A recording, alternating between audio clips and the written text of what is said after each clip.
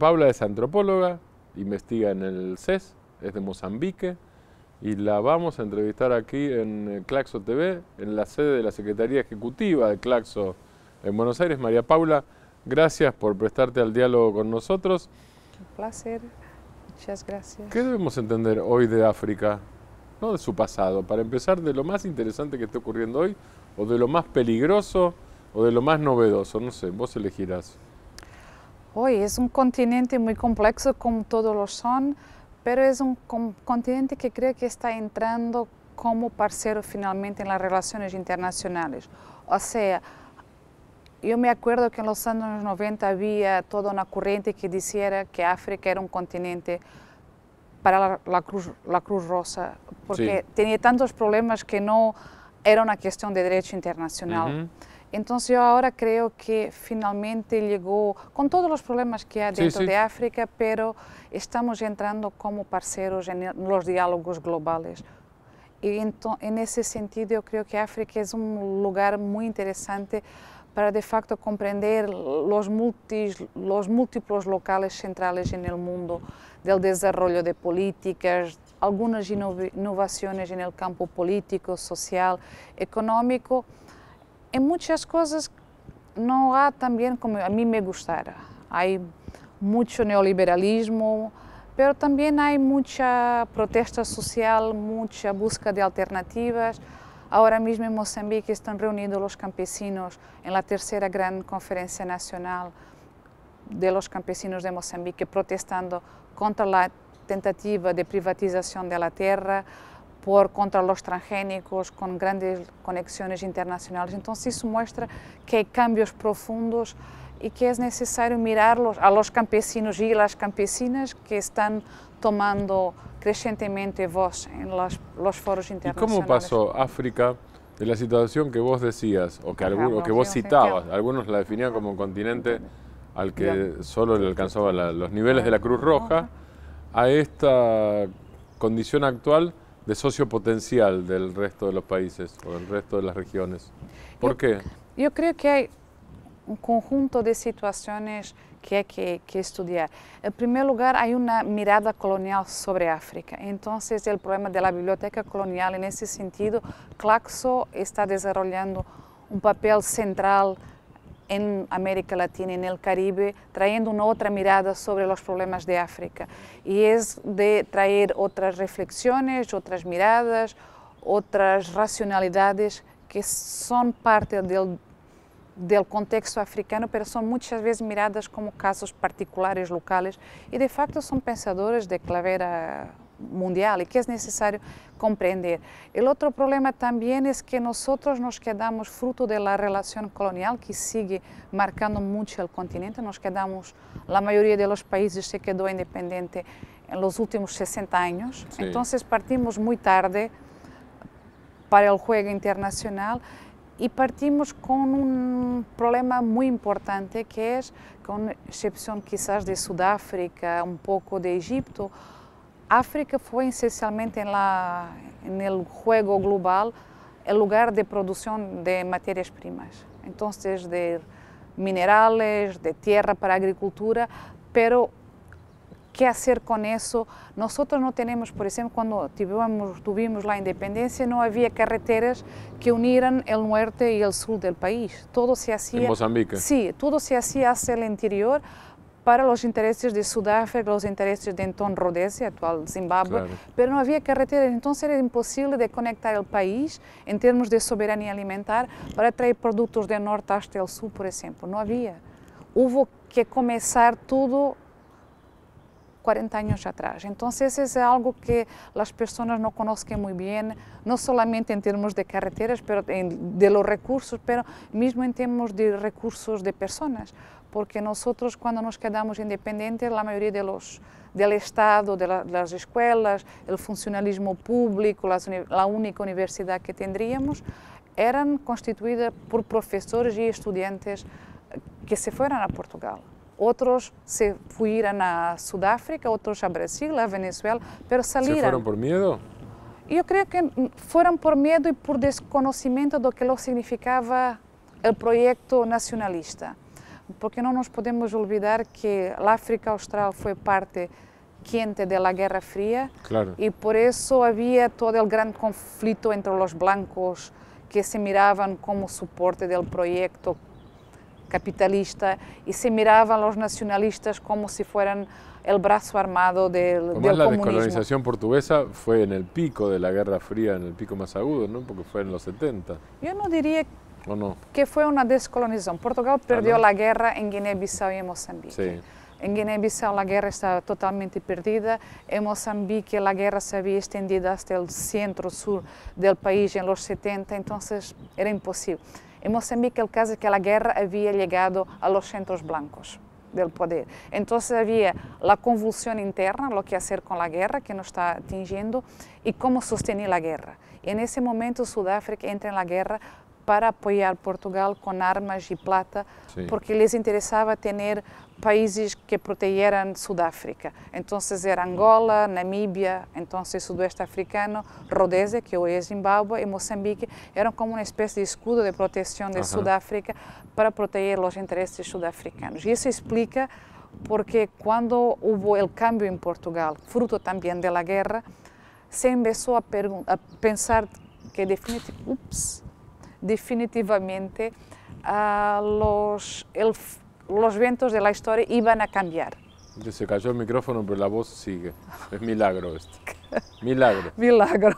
Entonces, esa es la parte interesante, es que percebemos finalmente en los 70 que la cuestión en Sudáfrica a corto plazo tenía que se resolver, porque Angola y Mozambique es 75, Zimbabue É, os 80, Sim. Namíbia 90. Quando ele a Namíbia, já sabíamos que a Sudáfrica ia cambiar. Claro. Então, o vento da história estava soplando muito forte na África Austral, pero os cambios as pessoas normalmente miram na Sudáfrica, miram na Moçambique e não miram que a África Austral foi um projeto de, de cambio muito importante e creio que nós teremos que analisá-lo e quizás mirar um pouco la perversidad de las relaciones entre los países en el sur, porque Sudáfrica contó con mucho apoyo de los regímenes dictatoriales de Argentina y de Chile, Y de Brasil y también. de Brasil, Sí. eh, de Bolivia, eh, de Paraguay. Entonces yo creo que es ahora que los archivos se están abriendo, es importante de comprender que eso no ocurrió solamente en un país, pero que había un intento de controlar, eh, de destruir las personas, porque los proyectos de desaparición y destrucción, de genocidio, me parece, escuchando aquí lo que pasó en Argentina, en Sí. Chile, que había de facto un interés, una, una especie de un proyecto de control de esas Por poblaciones. lo menos en el caso argentino, además Sudáfrica funcionó de guarida, de santuario, dicen los españoles, pero de guarida en términos de- delictivos, de, parte de, lo- de una parte de los represores que además hacían negocios con tráfico de diamantes en algún momento. Yo calculo que eso financiaría, no lo sé la verdad lo que voy a decir, pero calculo, uno puede sospechar que eso financiaría otro tipo de actividades ilegales también. Yo creo que sí, creo que también vamos a encontrar probablemente uso de armas porque Sudáfrica no podía comprar armas. Claro. Entonces Porque tenía que encontrar aliados que pudieran evitar el embargo. Entonces yo creo que es importante demostrar eso porque tengo el deseo que si no abrimos la historia, los mismos errores pueden ocurrir Claro. otra vez. Pero yo creo que hay el otro lado de la historia, como hay siempre, que con la independencia de Angola, de Mozambique, nos quedamos con muy poca, poca gente preparada y vino mucha gente de Chile, de Argentina, de Brasil, que ayudó profundamente a Mozambique a reconstituirse. ¿Qué hacías vos en ese momento? Yo estaba en la escuela secundaria. Secundaria. ¿Y qué te acordás de ese momento en cuanto a? ¿Pero qué te acordás? No qué pensás ahora, sino cuál es el recuerdo más fuerte de ese periodo. Hay tres o cuatro. Hay uno que no me gusta hablar mucho, que fue el 7 de septiembre de 74, que al mismo tiempo que en Lusaka asesinaban los acuerdos para la independencia de Mozambique, hubo un putsch de blancos neonacionalistas que querían seguir con el control del país. Entonces hubo de facto un, pro- un proceso muy fuerte con, con muertes, no fue una boa, no una boa memoria, pero es una Sí. memoria. El otro muy interesante es que por eso explica un poco a los portugueses que no conocían lo que era el proyecto de la Frelimo, porque la Frelimo era el enemigo y ellos estaban en los centros urbanos. y eran de facto una sociedad colonial muy racista, entonces era muy complicado. Y yo me acuerdo de escuchar personas hablar, ¿cómo es posible que una persona como Samora Machel, que es un enfermero, se va a quedar presidente? Entonces era lo, lo carga académico que lo iba a caracterizar, no su competencia política. O sea que es lo, la misma crítica que le decían los sectores conservadores a Lula. Exactamente. Entonces yo creo que eso para ellos era una cosa completamente imposible de aceptar, especialmente aceptar que ahora no era posible que un portugués que tuviera el ensino básico iba a ter a receber o mesmo que um negro que antes recebia a metade. Então, todos esses retos foram muito difíceis de cambiar e por isso eu creio que até agora, quando nós estamos em Portugal, em outros, em outros países, as pessoas falam de uma África que é uma África mitificada, onde tudo corria bem, tudo estava pero estavam para quem? Para un grupo muy pequeño, porque cuando nosotros decimos, bien, estaba bien, pero usted tiene una, una buena casa, una buena habitación, coche, todo eso, pero la mayoría de las personas, no, pero ellos eran retrasados, pero ellos no tenían educación, pero ¿y qué usted hacía?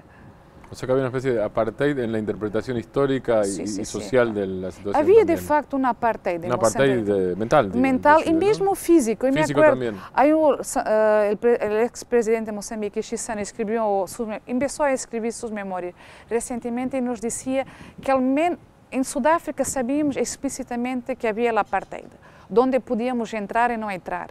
Em Moçambique não, nos diziam que podíamos entrar a todo lado, pero havia lados que não. E eu creio que ele foi um dos melhores estudantes de seu ano la escola secundária sí.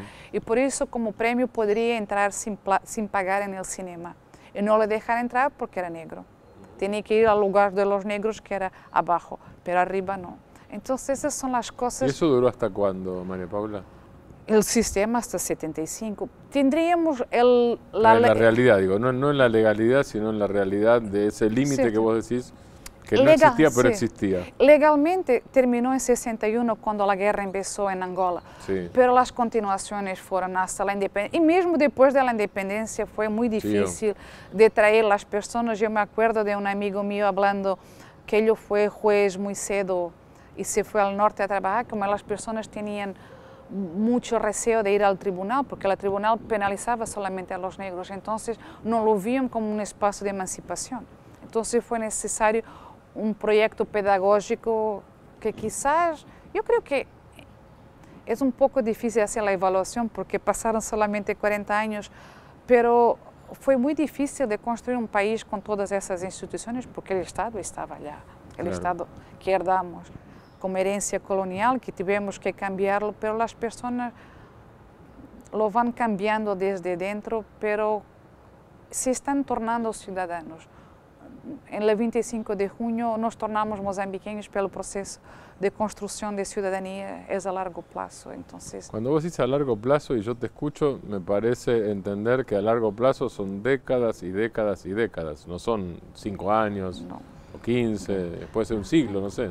Não, eu creio que sim. Depois tivemos a guerra civil, que foi sim. uma coisa muito traumática, que uma vez mais destruiu o que havíamos começado, começado a, a construir. Então, foram hospitais, escolas.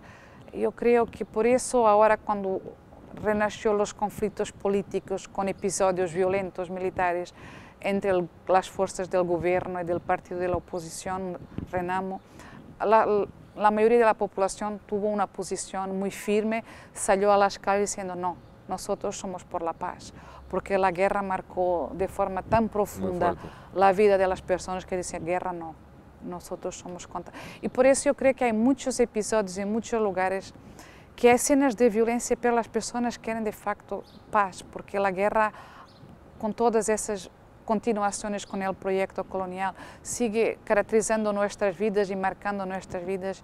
Y nosotros queremos tener la posibilidad de irnos de un lugar al otro sin pensar que puede haber un ataque, que tengo que pensar que me voy a hacer si, si me muero, que queda con mis niños, con mis niñas. Entonces... María Paula, un proyecto como el de la Universidad Sur-Sur debería servir para ver realidades eh, concretas y específicas de África o de países de África, vos estás hablando de Mozambique, o generales. Yo creo que debería eso es la, forma como la veo. Es que nosotros sabemos mucho poco mirarnos entre nosotros, en el sur. Dentro de la propia África. Dentro de América Latina. Dentro de África, y yo conozco muy bien África Oriental, pero no tan bien la África Occidental. Es importante, y la África del Norte que sigue sendo para mim muito desconhecida. Então é importante de conhecer os experimentos, as especificidades, os que há de comum e também em tentar de fazer alianças, pontes com América Latina, com Ásia, com o Caribe, com o sul do norte, que há também com Grécia, com Portugal, Sim. com Espanha, porque, por exemplo, nós, eu creio que a Argentina também temos uma experiência forte da presença do FMI del FMI en nuestros países. Argentina también, sí. Si vos Entonces, supongo, yo confirmo. Si, lo tenemos, ¿por qué no vamos a explicar lo que funcionó, cómo, cómo, funcionó? Porque las personas, por ejemplo, en Portugal están muy apáticas y nosotros nos decimos, bien, es posible sobrevivir, hay vida después del FMI. Es malo, nos destruye la vida, pero hay vida después. Hay que recomenzar y recomenzar con esperanza, con fuerza, porque no podemos ellos se quedan muy, muy tristes, como si no hubiera solución.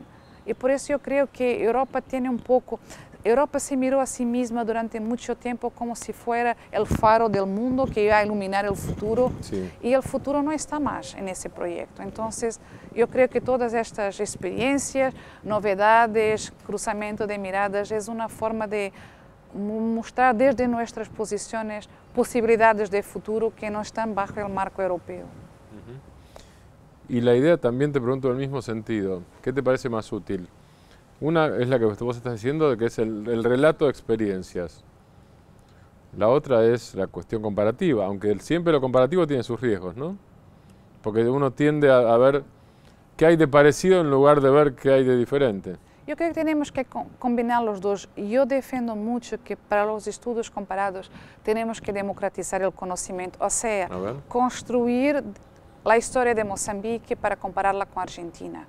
Con no solamente la historia, cuando hablo de historia es la, literatura, la filosofía, que son los desarrollos en el campo de agricultura, para que podamos de facto comparar los, los dos y tener equipos binacionales donde haya investiga, pesquisador de los, dos de los vários campos cruzando-se para que podemos ajudar-nos mutuamente e criar uma escola onde todos estamos, como nós dissemos em Moçambique, todos ensinamos e todos aprendemos. Então, é uma complementaridade e não fazer rupturas, que é um pouco o que a los estudos comparado como estavas claro. dizendo. Isso é diferente.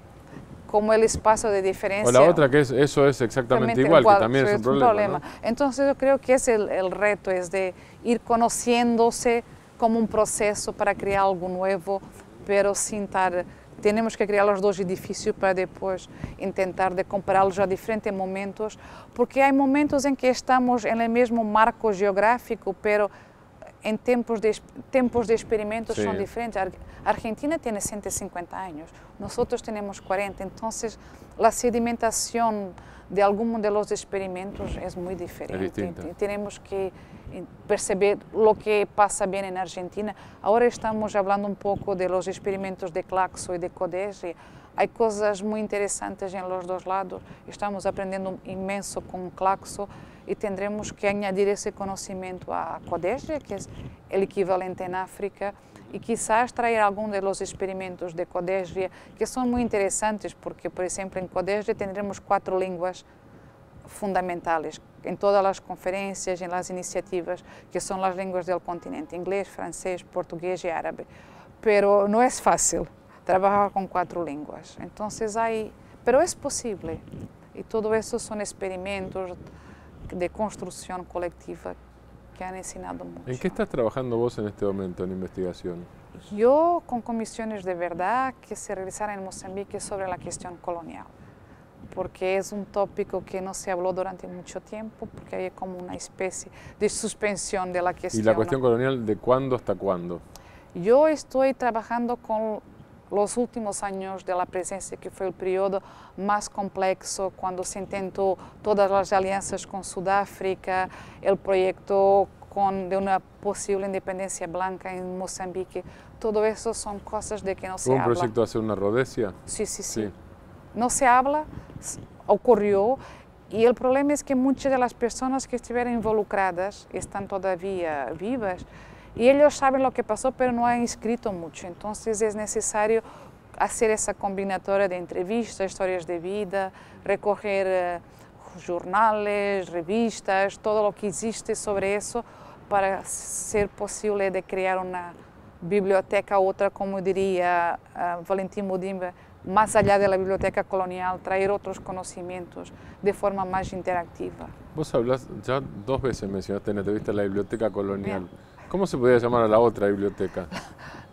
Yo creo que sería... anticolonial, precolonial, no, una postcolonial, una biblioteca. biblioteca simplemente. Una biblioteca, sí, porque yo no es que estoy contra la biblioteca colonial, pero tenemos que nombrarla que el contenido es de producción colonial para nos caracterizar como sujetos coloniales. Entonces, por origen, perdón, ¿por origen del contenido o por contenido del contenido?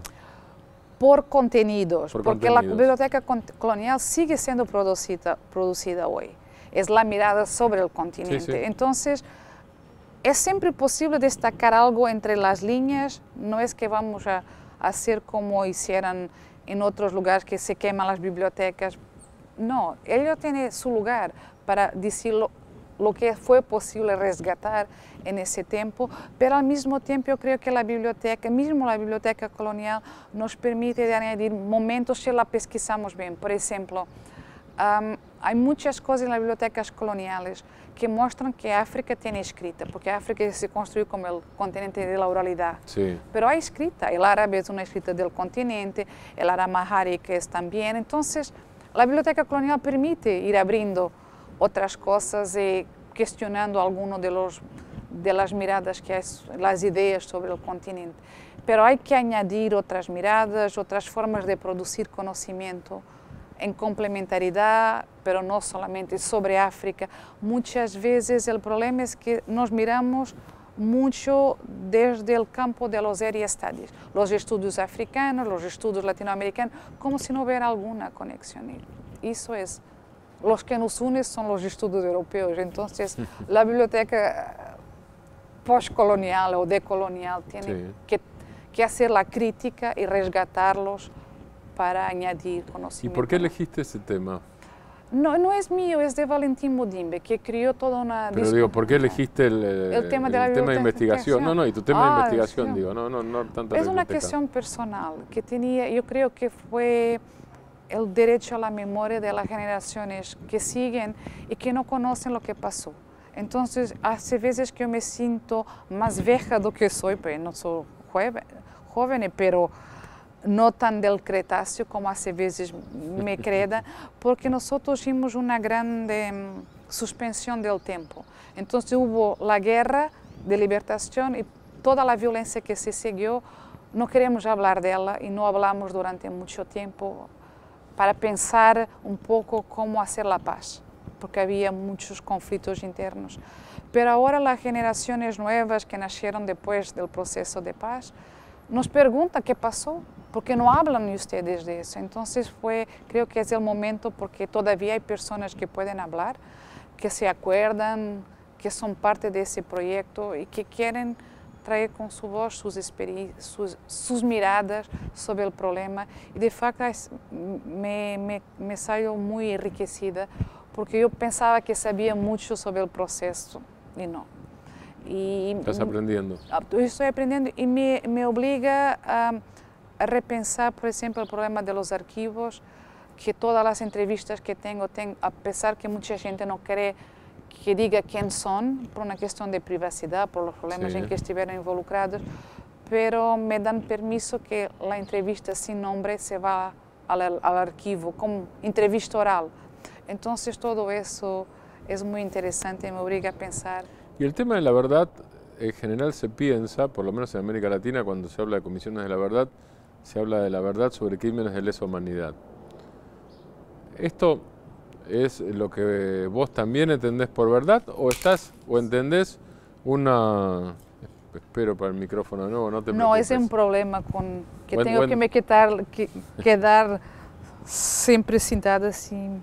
Es que nadie se queda quieto todo el tiempo, no, no, te preocupes con el micrófono, vos independiente. Lo que te decía es, En tu reconstrucción de la verdad, me da la sensación de que vos más allá, vas más allá de las violaciones a los derechos humanos y no sé, ¿qué es lo que hay? Vida cotidiana, valores. Dignidad, reconciliación. Yo creo que las personas se olvidan que muchas veces el problema de las comisiones no es la verdad, pero la reconciliación. Porque hay siempre dos lados en la verdad. Porque, ¿Por qué que las personas se encontraron involucradas en ese proceso? y los que pierden, pierden y los ganadores tienen más razón. Entonces hay que crear el espacio para que puedan decir su posición. Ellos están hablando hoy sobre procesos de hace 40, 50 años, sobre los masacres, etc. Pero lo que yo creo que sienten muchos ellos es que ellos fueran capaces de renegociar su identidad política y transformarse en mozambiqueños plenos. Entonces regañaron su dignidad, regañaron su derecho a estar en el espacio nacional, porque fueron procesos muy abiertos, muchos de ellos, y las personas lo comprendieron. Hubo muchos errores también, hubo episodios de violencia como los procesos de los campos de reeducación, de reeducación que no funcionaron bien, fueron errores terribles, pero yo creo que en el final hubo una guerra, hubo personas involucradas en la guerra y no hubo como en Nuremberg todo el proceso de fusilamiento, no fusilamiento, pero de, de muerte, la horca, pero ahí no hubo una especie de reconstrucción identitaria. Y por eso yo creo Y tampoco proceso de juzgamiento sin pena de muerte. Sí. Eso no hubo tampoco la pena de muerte fue reintroducida cuando empezó la guerra. Sí, después, sí, pero digo, sí, hubo procesos... Eh, no hubo con pena de muerte, sí, no, sin pena de muerte, digo.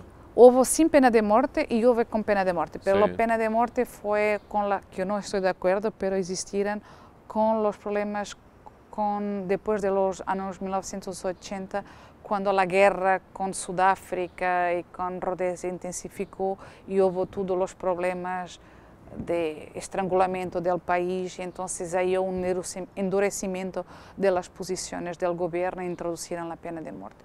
Houve vários casos, mais de 30, creio eu. Creo yo. Y en la revisión del pasado colonial, lo que hay es eh, reconstrucción, hay memoria, hay verdad o hay justicia también en Mozambique. ¿Cómo es la característica nacional de, esa reconstrucción?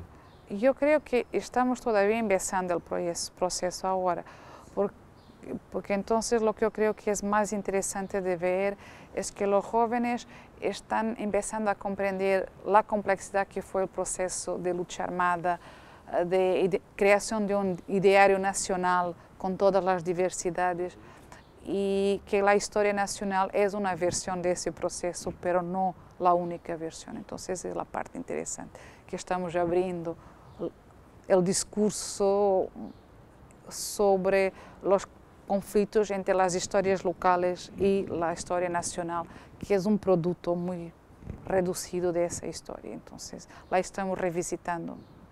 Y es muy interesante. María Paula, muchas gracias. Muchas gracias yo. María Paula del CES, investigadora en eh, Mozambique, aquí en el patio más hermoso de la Argentina, el de Claxo. Sin duda, muy hermoso. muito bonito. Muito lugares, obrigado. Muito obrigada.